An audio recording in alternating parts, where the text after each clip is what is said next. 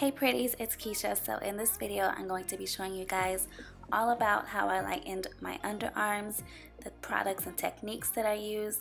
For quite some time, I was dealing with really dark, hyperpigmented underarms and just thought it was something I was going to have to deal with until I just got really proactive in finding a solution. So if you're dealing with a similar issue, I really hope you find this video helpful.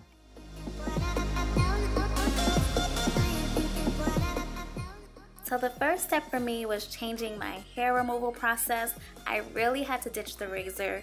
Razors for me were basically the source of all the issues and hyperpigmentation and just causing a lot of irritation and itch, ingrown hairs, razor burn, nicks, you name it. And since shaving really only removes the hair at the surface level, it just sits underneath the skin after a shave, creating a shadow and making the underarm appear darker.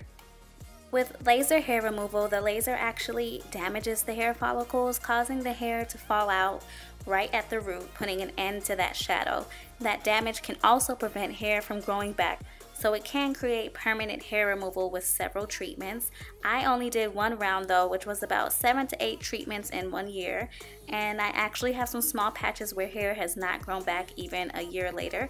But I found the main benefit that that one round of laser gave me was basically like creating a reset button. My hair returned to the fine soft hairs that you have similar to when you first began to grow hair under your arms. So the hair that does grow back is no longer thick and coarse from years of shaving. Also, no more ingrowns or irritation or itch like you get when the prickly sharp razor cut hair grows back.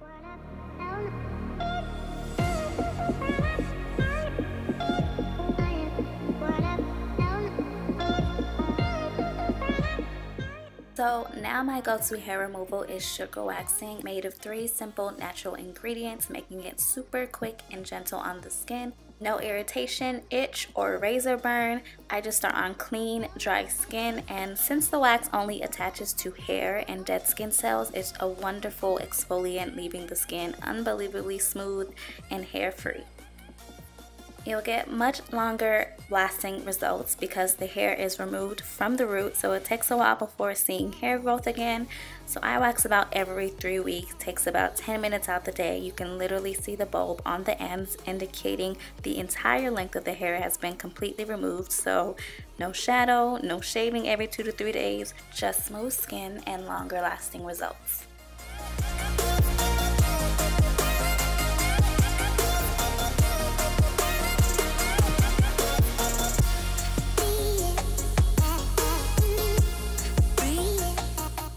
So if you try nothing else from this video, just make sure you try this.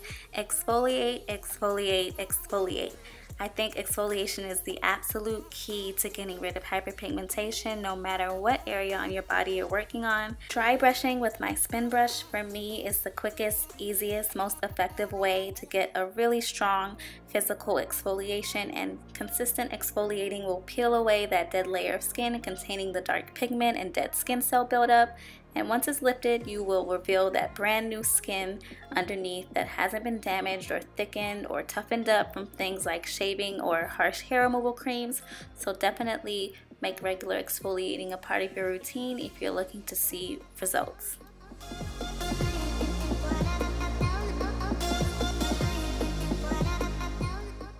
So your shower routine is super important as well because you get a daily exfoliation so it's really important to pair this time with the right products that will also help in lightening the skin. So first I will apply coconut oil to my skin before my shower. This just keeps my skin super soft and moisturized especially through all the soap and the scrubbing. I use my spin brush and African black soap by Shea Moisture. African black soap is known for fading dark marks and discoloration and I use it both on my entire body as well as my underarms. Also, once a week I will use my Mario Badescu Glycolic Foaming Cleanser. I use this in my skincare routine on my face as well. And since it contains glycolic acid, I love using it on my underarms to get all the exfoliation benefits that glycolic acid provides. I'll let this sit for two or three minutes before rinsing it off. And since glycolic acid breaks down those connective fibers between skin cells, it allows the skin to peel much easier. So it's a great mini chemical peel to help remove that dark layer of skin but since it is a chemical exfoliant, you definitely want to use it sparingly. So I find once a week to be a good balance.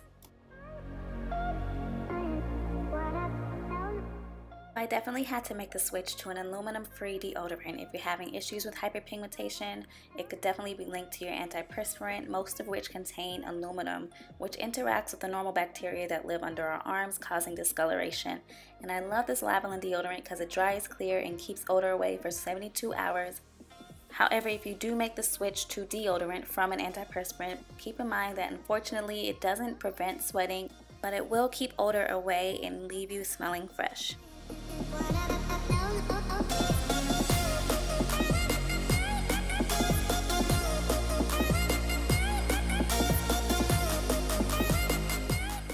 So this is another hand-me-down from my skincare routine for my face. Just a great way to take advantage of all the benefits for the skin. And that is my bentonite clay mask.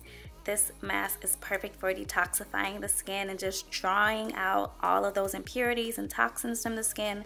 And since the underarms are one of those places on the body where the body gets rid of waste and toxins, this is just such a great way to assist and boost that process and just pull out all of those odor causing bacteria and other nasties and a great way to keep those underarms nice and fresh.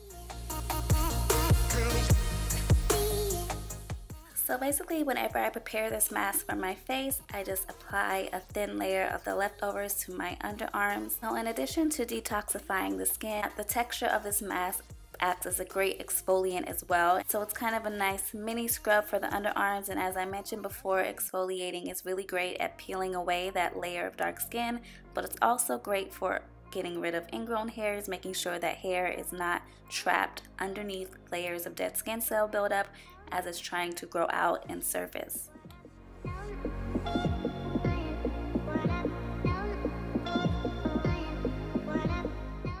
So after the mask, I will go ahead and moisturize my skin with coconut oil and I think typically it's just an area that we forget to moisturize, but it's so necessary because tough, dry skin can contribute to a darker appearance and it's more rigid and difficult for hair to grow through. So moisturized skin is just another great way to prevent ingrown hairs. And since coconut oil is antibacterial, it will keep that odor causing bacteria away, acting as a natural deodorant as well. So moisturizing is definitely a triple threat when it comes to combating hyperpigmentation and has allowed me to see so much progress. I really hope you guys found any of these tips helpful and I will see you in my very next video. Bye pretties.